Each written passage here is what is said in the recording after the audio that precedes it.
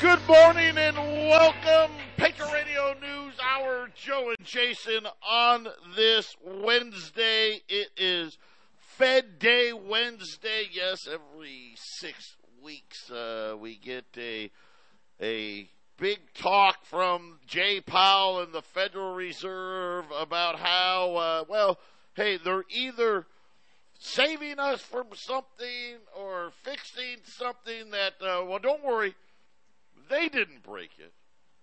Somebody did, but but it wasn't them. They're they're they're just the ones that uh, you know the kindness of their hearts. They're just trying to help us, Jason. Right? They're just they're just trying to fix problems that other people created, not them. They they they they never create the problem, Jason. Of course, they want to tell you that they're the only ones that have the solution there's a lot of finger pointing going on nowadays, isn't there? You know, there's always problems, and uh, for whatever reason, we're programmed to have to blame somebody. It's got to be someone's fault, and, and, most times it's someone's fault. So, yeah, Joe, there's a lot of finger pointing, isn't there? There's, uh, you know, uh, the most traditional thing, like what the Fed does. It's always, you know, hey, there's a problem, and then they have fingers pointed in three or four different directions, right? It's never the Fed's fault. It's never our fault. So, yeah, it's it's a classic uh, game. You know, it's a political game too, and and uh, I think we're going to see a lot more of that. I think there's going there's so many people that I think have no idea how, how this because it's, it's a it's a large system. It's in a large economic world system, so there's a lot of blame to go around. So I just think there's uh, just going to see a lot of finger pointing in the next year or two, Joe. Especially, especially yeah. now.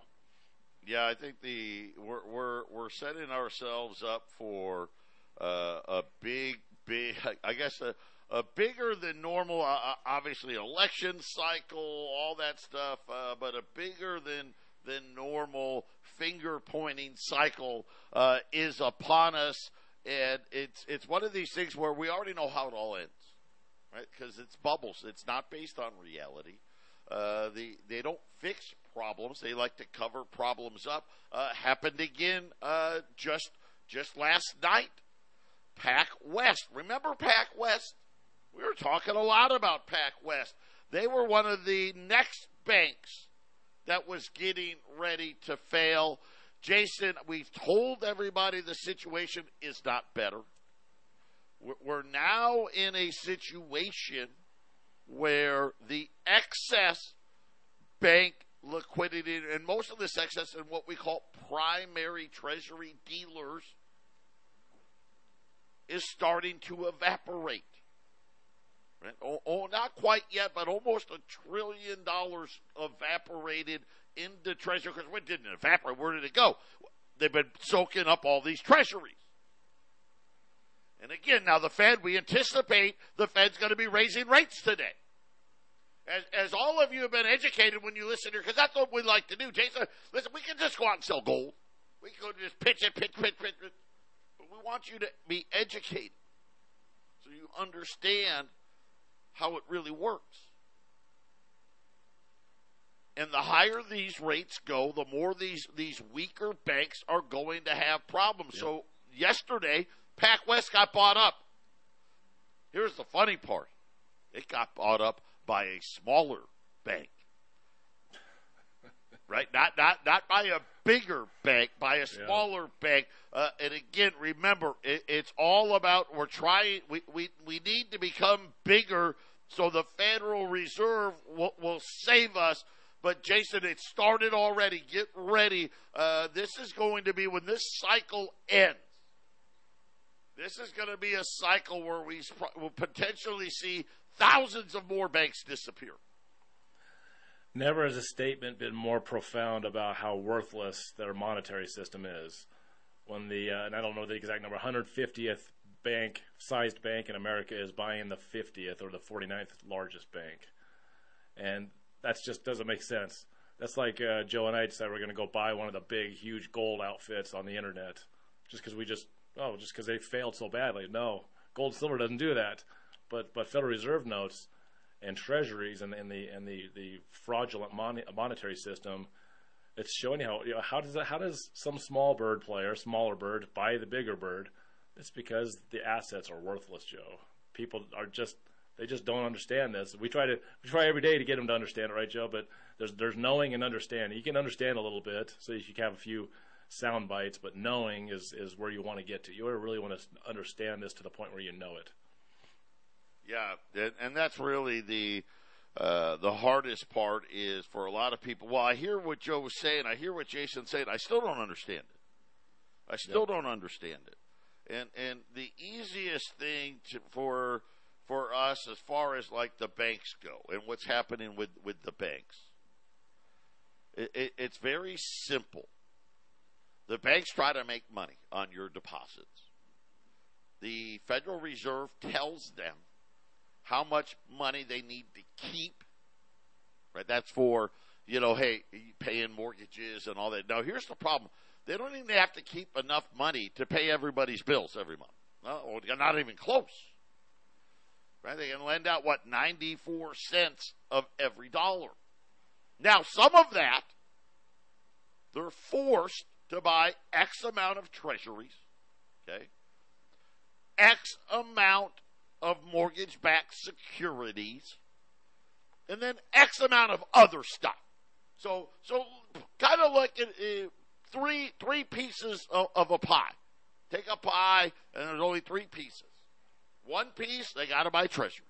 Another piece, they got to buy mortgage backed securities. And the last piece, the banks get to do what they want. It's the last piece that hurt the, the early bird banks that went under. We're going to talk about that when we get when we return. But now what we're getting ready for phase two, which is being hurt by what they're have to buy. That's coming up next. Don't touch that dial. Take you. We'll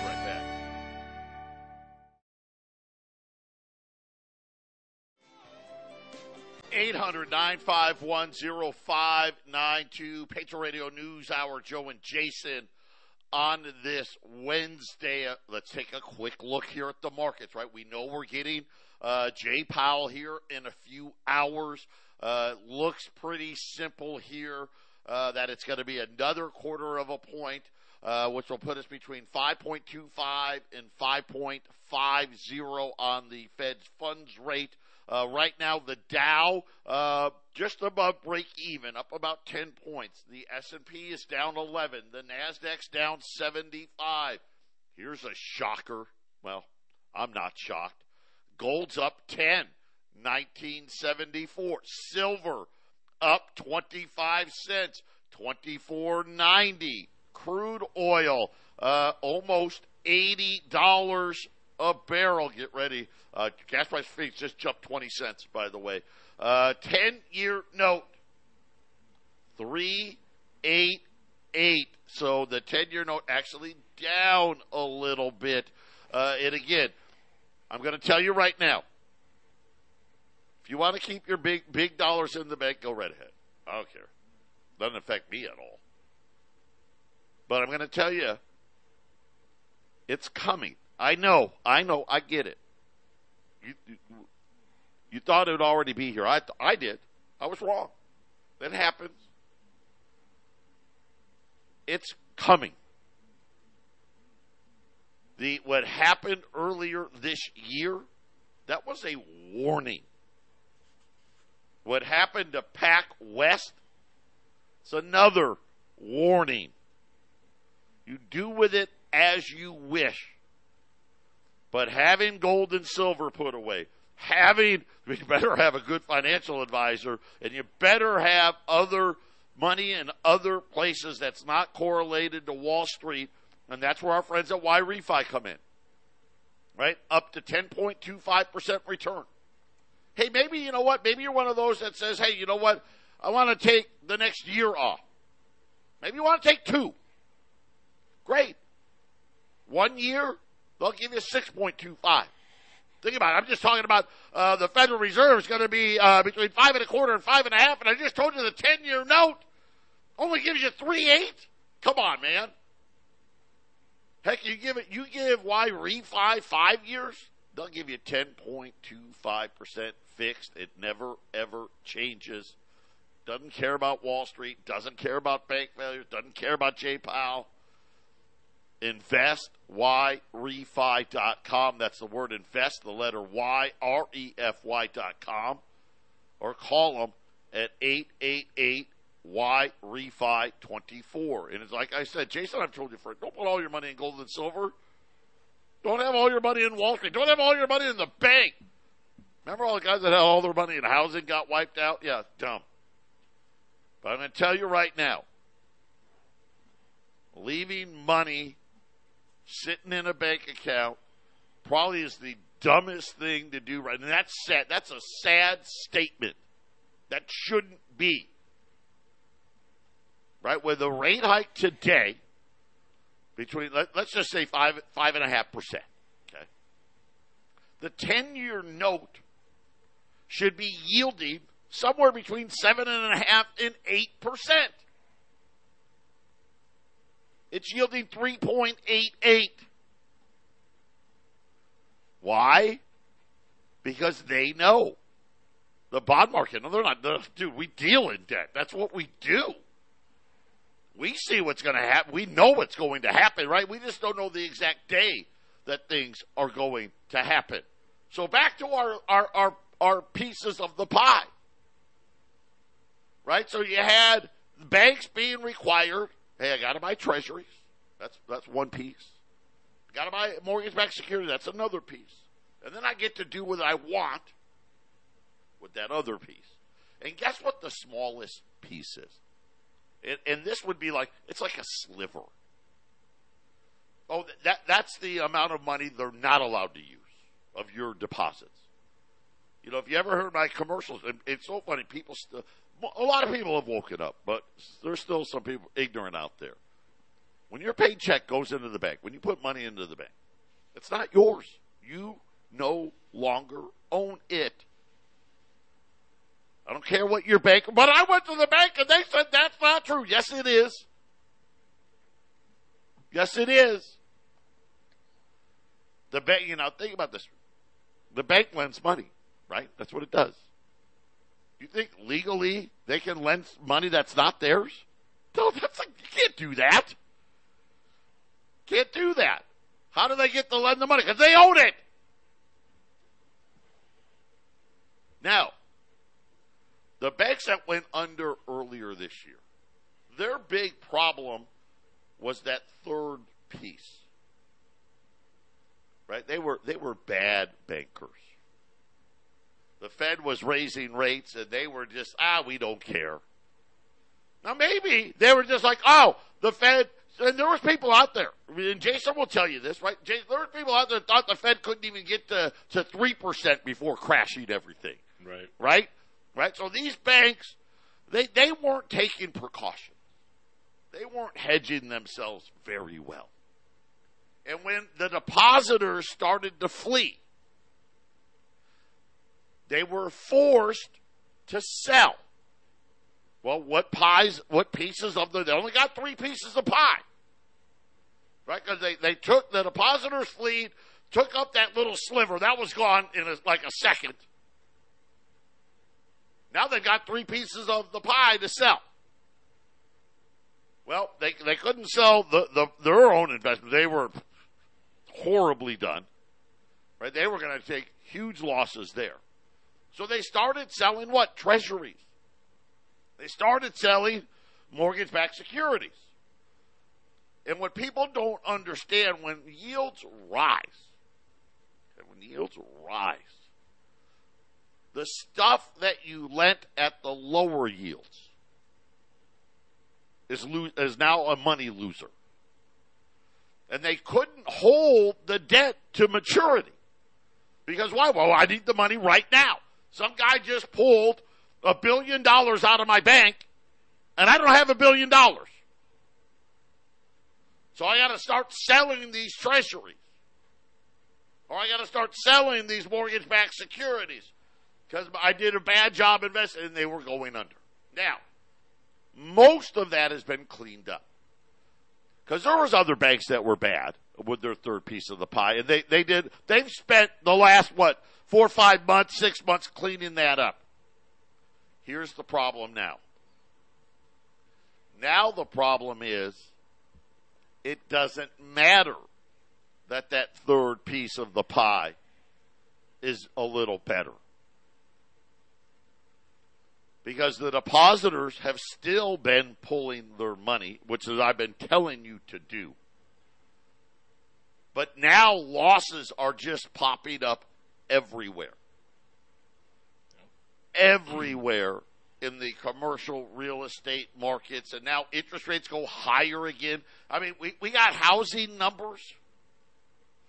Right, we're, we're going to have less than four million home sales, and that's that's that's the good part of the mortgage-backed securities market. That's the one that's hanging in there. There's not enough activity. And now, all these treasuries that are sitting there, because remember, the smallest piece of the, you know, there's that sliver. Throw that out. Forget about the the sliver's gone. The smallest piece of the pie of the three is banks getting to do what they want. There's not enough. They can't sell enough of that to make up for the other shortfalls and Jason, this is why they're all going to go and get rid. This is why they had PacWest get merged because they knew before the end of the year, PacWest was going to be done. And and this they, is they, because they don't have anything to sell. Yeah, they actually absolutely knew, and uh, I don't understand these smaller banks. Now, so, so the, the Fed set up the reverse repo for, for banks that qualify because I don't think you know not everybody can just throw their money at the reverse repo. You have to qualify. But as a smaller bank, if you don't qualify, and in 2021 when this thing started going, because it was uh, the beginning of 2021 and the reverse repo when these big banks started throwing cash in there. These banks should have known Joe not to buy a bunch of low interest stuff and sit on it, because the big banks that qualified for the reverse repo by by December 31st, the last day of 2021, there was almost two trillion dollars in there that's kind of a big signal. Says maybe you better be heavy in cash. Now, of course, we tell you not to have cash, but when it comes to these interest rates going up in 2022, because that's what happened. That's December 31st, 2021. The, re- the interest rates started going up the next year. These little, these smaller banks, just like Joe said, they were they were bad bankers. They were just not good. They just sat on this low interest stuff, saying, "Ah, it's going to be fine," and they found themselves upside down. And and uh, the interest rates went up. The uh, reverse repo facilities sat for all this time at over $2 trillion in, in, in, cash just sitting there for these big banks waiting to pounce on opportunities like what's going on this year, Joe. And so, uh, yeah, we have, we have that clip, Joe. We have uh, uh, Michael Cohen. He's got this clip of a, a, leaked video, and it's it's of the an FDIC closed door meeting in November. And these guys are trying to figure out. They're trying to say, hey, uh, we we don't really think we should be telling the public about this. They they might get the wrong idea. They might they might panic we know they actually said in the meeting in this club. We know things are really bad, but we, we they don't need to know this. We're going to play this clip. This was in November.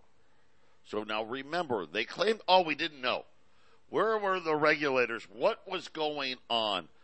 Uh, they knew in November, and they probably knew before November. This is just when we, we, they, we somebody leaked a clip uh, of of them talking about knowing about it and then deciding, hey, let's not tell anybody. Right? Let's not tell anybody. Right, Jason? That's, that's exactly what it is. It's pretty. The, the part with the clip with the FDIC is pretty short. I think we could probably fit it in before the break here. Let's. Yeah, let's, let's get it. Let's play it. Let's play it right now. Here's the FDIC talking about in November the problem with the banks. Michael Cohen with about 30 seconds of intro. Here we go. Michael, the market went up today, only by just an inch. Biden would say. but we're not talking about the stock market. The stock market and the banks is completely different. So, everyone, what bank failed? Why did they fail? And are there more bank failures coming? Well, that's exactly what we're going to go over in today's video. So let's not waste any time, ladies and gentlemen. Let's get straight into the news, the facts, and the data. Okay, now first things first, before I get into what bank actually failed, you need to see this leaked footage from the FDIC meeting telling them we do not want the public to know about what's about to happen. And guess what? This meeting was in November 2022, right before the huge banking crisis that we saw this year in March 2023. This happens time and time again, everyone. They know exactly what's coming, they try to keep it hush hush, and then a few months later, it eventually happens. So, everyone, have a look at this shocking clip, and then we're going to get into these news stories. A professional need to know. I, I completely agree with that. I almost think you'd scare the public if you put this out. Like, why are they telling me this? Should I be concerned about my bank? Like my insurance company doesn't tell me what they're doing with my assets. They just assume they're going to pay my claim, right? It's, it's, I, I think you've got to think of the unintended consequences of taking a public that has more full faith and confidence in the banking system than maybe people in this room do, that we want them to have full faith and confidence in the banking system. They know the FDIC insurance is there. They know it works. They put their money in. They're going to get their money out. So there, there's a select crowd of people that are in the institutional side. And if they want to understand this, they're going to find a way to understand this. There's a bunch of law firms represented in this room. There's a bunch of people that charge them by the hour a lot of money to explain this all to them. And, and, and it's fine. I, I don't have a, I don't have a problem with that and they all have huge staffs. But I would be careful about the unintended consequences of starting to blast too much of this out in the general public. Did you hear? We're going to wow. hit the break, Joe House. wow. So think yeah. about this. Here's what here's in case you missed some of that and, and uh, what I caught. Hey, we got a bunch of high executive lawyers in this room right now that are going to tell all the all the rich billionaires how to protect themselves, but let's not tell anybody else because well they believe more than we believe that the banks are safe.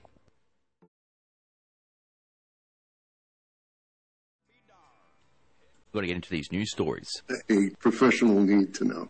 I, I completely agree with that. I almost think you'd scare the public if you put this out. Like, why are they telling me this? Should I be concerned about my bank? Like, my insurance company doesn't tell me what they're doing with my assets. They just assume they're going to pay my claim, right? It's, it's, I, I think you've got to think of the unintended consequences of taking a public that has more full faith and confidence in the banking system than maybe people in this room do, that we want them to have full faith and confidence in the banking system. They know the FDIC insurance is there. They know it works. They put their money in. They're going to get their money out. So there, there's a select crowd of people that are in the institutional side. And if they want to understand this, they're going to find a way to understand this. There's a bunch of law firms represented in this room. There's a bunch of people that will charge them by the hour a lot of money to explain this all to them.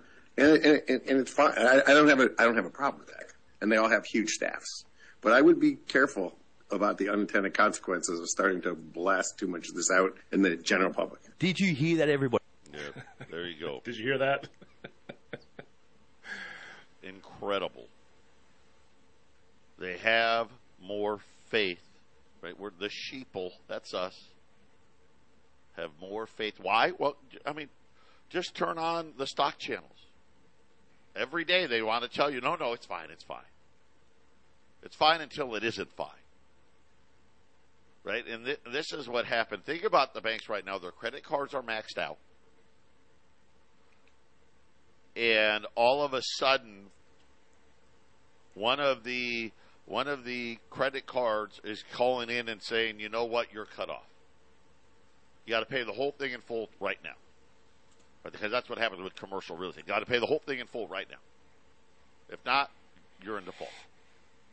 And this is what's going to happen. And of course, thinking about this in the FDIC, and they're like, yeah, well, they have more faith in the banking system than we do. And when you hear the, you heard the one guy laugh, he kind of chuckled, right? You heard him, chuckle, right? Because he's like, yeah, like, idiots, right? Dummies. What a great job we've done. And don't worry about the rich guys. Look, they got their high priced lawyers. A bunch of them are in this room right now. And they, they can pay a whole bunch of money to these lawyers and they'll get all protected. They're going to be fine. Why do you think, remember, think, think about Silicon Valley Bank. Why do you think that happened? Now I kind of know why. How much you want to bet some of these big hedge funds that kept all their money at Silicon Valley Bank. Well, one of the lawyers in the room was from uh, was was from one of those hedge funds, and he went and called it. Hey, uh, yeah, you need to come in for a meeting. right? It's not like Suits, right? Right? Uh, the, I don't know if you ever watched the, the, the, the show Suits, right? They bring them in for a meeting. Hey, guys, uh, you got to get your money out of this bank right now. It's, uh, don't tell anybody. Do it quietly. I'm thinking some lawyers got got fired around Silicon Valley Bank because that shouldn't have happened like that. Some some lawyers got lazy uh, in the Caribbean on a cruise or something, just kind of hanging out, and they didn't warn their depositors in time. So somebody got fired on that one because remember we remember Joe, you were we were here reporting it on the air as it collapsed before Friday could even come to an end. They were hoping to get it to the weekend, they couldn't even get it there. So yeah, I remember we remember that. Though someone it- got fired. Yeah, they couldn't even make it to then. Uh, Twenty dollar gold pieces, one through nine, at twenty two hundred and fifteen dollars. Gold's up eleven right now, nineteen seventy five. One through nine, twenty two fifteen.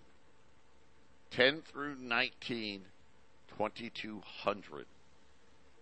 20 or more at $2190 that's like barely two uh, barely a little over $200 over spot. That's awesome.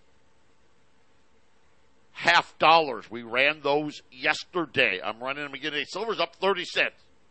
Getting ready to go back above $25 to the ounce. Half dollar rolls. 1 through 24 rolls. 230 25 rolls or more at $225 at 800 951 0592. Just so a little foreshadowing for everybody, we like to do this. Uh, gold closes here at 1100 and, or $1,975. And, I, and it could go, depending on how, what Jay Powell says, it could go higher, could go lower. We don't know, but right now the gold markets are looking like they want to run because they get these banks are in bigger trouble than people realize. The government can't afford these rate hikes. They can't afford it. And we're already paying a trillion dollars in interest. And who's going to soak up all this debt? The that reverse repo keep drops by the day. Talked about that in yesterday's show. We're, you're going to be looking at twenty dollar gold at about twenty two fifty tomorrow, and depending, who knows? I mean, we could see two thousand dollar gold before the end of the day today, depending on what Jay Powell says uh, in that press conference. Jason, Yeah, can you imagine if a couple of billionaires happened to see that video? I mean, because this stuff is always hushed and, and, and suppressed. But can you imagine if a few billionaires saw that that clip that we played, hear it, hear that clip, and then the, the thing they can say, well, I, I don't know what to do. I've got treasuries or I've got cash in the bank. I don't know what to do. And somebody in the room is, you know, is going to say, well, you could put it away in some gold and silver. All it takes is a couple of those guys, right, Joe? How many how many billionaires does it take to move the gold market? They start moving out of the banks and into the gold and silver. I mean, One. when that happens, gold one, moves. one, maybe a half of a billionaire, right? It, I mean, it really doesn't take uh, uh, very much at all, especially with uh, the inventory levels on the exchanges right now with gold and silver. Uh, here's the great. Here's what I love. The premiums have come. They're, they're back to normal.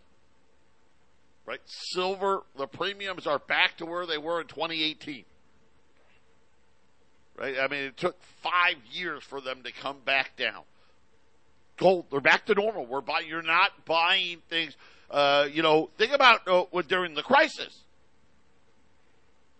right? We, we were what 23, 24, 2500 on on a twenty dollar gold piece, and gold gold's actually a little higher now than it was then. And we're talking about, hey, buy twenty or more, twenty one hundred and ninety dollars. That's that's when you want to do it. That's when you want to hit it. Because guess what? Uh, I think we're going to be back into. You want to wait? You're going to pay more.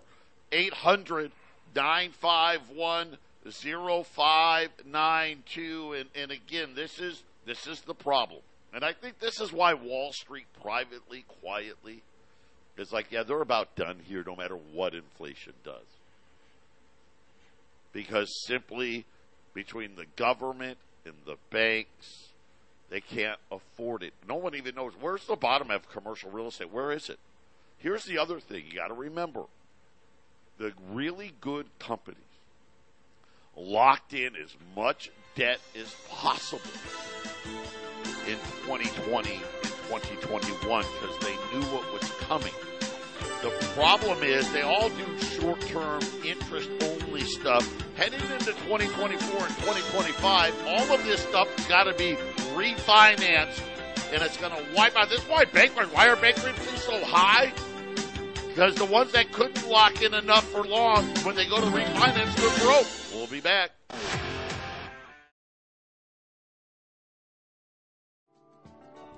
800 951 0592. Joe and Jason, Patriot Radio News Hour on this Wednesday. Of course, we're all waiting now. Uh, Jay Powell will be talking here in a little bit, in a few hours, uh, about where uh, interest rates are headed. Uh, we, we are anticipating another quarter of a point rate hike. Uh, we think it's going to be what I'll call a soft quarter of a point uh, where Jay Powell will be, hey, we, we, we're going to be higher for longer, and uh, but yeah, we could pause, we could hike again, uh, but uh, I think we're really at this point now where we're uh, maybe one more rate hike to come uh, at, at some point, Jason, but the the cycle. Uh, is, is coming to an end as already Pac West taken over, you know, one of Janet Yellen's consolidations as they're not able to survive with rates this high. Yeah, we've said it uh, since 2021 when the inflation came in, you know, and then they started uh, raising the rates in 2022. That it's they've they've got you know not very many plays, and all the plays they have are bad as far as the Fed making the decisions. Raising the rates are bad, and uh, uh and not raising the rates is bad. Printing money, that's not good either for the inflation. They, they don't have a whole, there's not all tools in the toolbox, as they say, to, to, to fix what, what has happened. And uh, I can't wait to see, just as you said at the beginning of the broadcast today, how many uh, fingers are going to be pointed at everyone but themselves when things get bad, Joe. Yeah, and again, I think it's something where uh, the, you know, when we look at debt now, uh, this is going to be a new phase uh, for the, the Treasury and for the Federal Reserve uh, because the the realities are now they they were running a lot of different. And this is the problem. They run all of these games to give you the illusion that things are better than what they are. Uh, I mean, look at the the guy from the FDIC in that clip. Hey, listen, they actually think that uh, their money's safe and the FDIC is going to pay their claims. As a matter of fact, they think it more than we think it. Right? And they play games, and, and this is what they did. Why did why is the ten year note so low? They've been playing games. Now some of it is because hey, a lot of people out there are like, yeah, screw you guys. I'd rather be early. I don't care. Maybe it doesn't blow up till 2024 right? Maybe it doesn't blow up to 2025. I don't care. I'm not playing. And I'm just going to buy treasuries and, and, and F you to everybody else, right? Some of that is true. But some of that is because, well, the Fed deliberately didn't sell a lot of long dated uh, maturities to try to keep it low. That game's over because now they're rolling over 20% of the debt every month, Jason, and, and now they're like, oh, now we're now we're screwed again. We we've got to now go back to selling tons of ten and twenty and thirty years. Uh, and and it really is a, a bad situation because that's really going to put a lot more pressure on these what I'll call marginal banks. Well, and even the guys in that FDIC meeting clip that we played, or the big bankers or anyone, I don't think anyone has the answer to for sure, is, there's always this uh, idea that okay, at some point they'll raise the rates till it breaks, and they'll have to come down or stay the same. But there's no guarantee of that. So why would you buy 10 year and 30 year stuff if you don't know where the top of the interest rates are going? You know, you already see these collapsing banks with the lower interest rate stuff. You don't want to be the next one. So there's going to be a lot. Of, here's the thing: with a Ponzi scheme monetary system, you have to have money flowing and moving, and I think there's a lot of freezing going on people, you know, banks and institutions wanting to put it into where, well, where the uh, the reverse repo market is. Hold some cash and wait for the right time to buy when the interest rates top. So it's I think you're going to end up with a situation, Joe, where the entire financial system, is, at least in this country, they want everyone's going to want it to collapse. I think everyone's wanting it to collapse because that's the only way to try to, to, to benefit if you're holding cash. $20 gold pieces, 1 through 9, $2,215. 10 through 19, $2,200.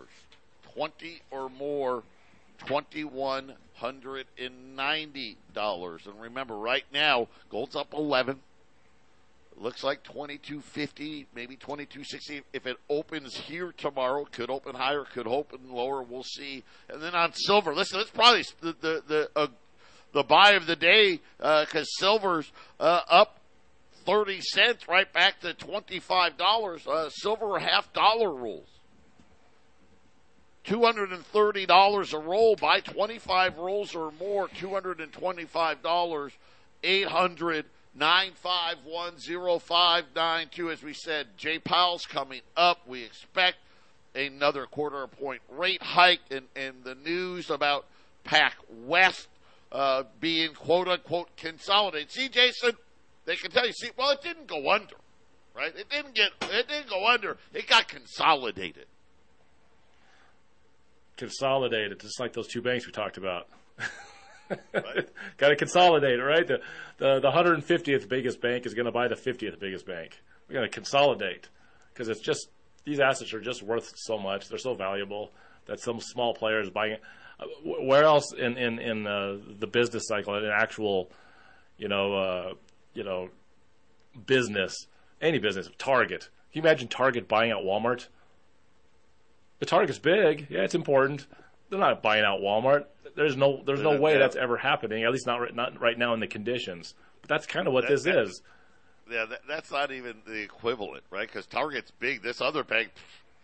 I mean, you're talking about. I don't even. I don't even know in the retail space uh, what what equivalent you could use uh, to, to to to have that happen. Right? That'd be like I don't know, Food City uh, buying Kroger. That's never going to happen. By the way, the FDIC, since we're on the FDIC, has issued a warning about banks lying about the uninsured deposit. Uh oh. Uh oh. Yep. Yeah, that's what we're going to finish with. We'll be back after the break.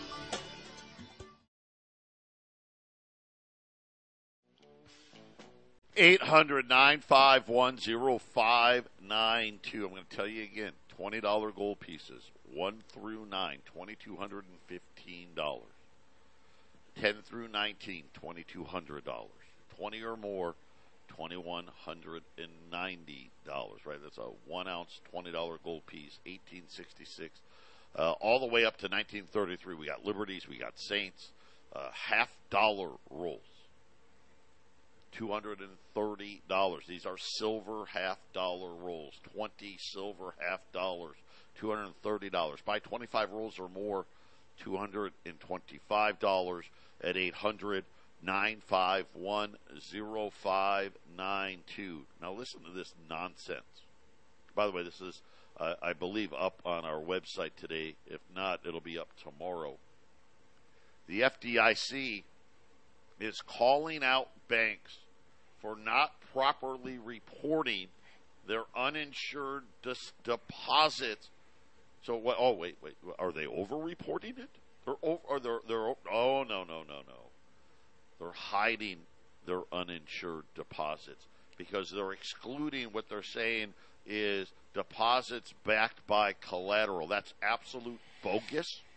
That is not in uh, in following of the law, the rules that have been issued by the FDIC. Why would they even allow this? What do you mean? These banks should be fined, they should be censored, they should be made to report it properly? No, well, they don't want to call anybody out. They're saying that uh, federal lawmakers have stepped up calls for more stringent regulation of the banking industry.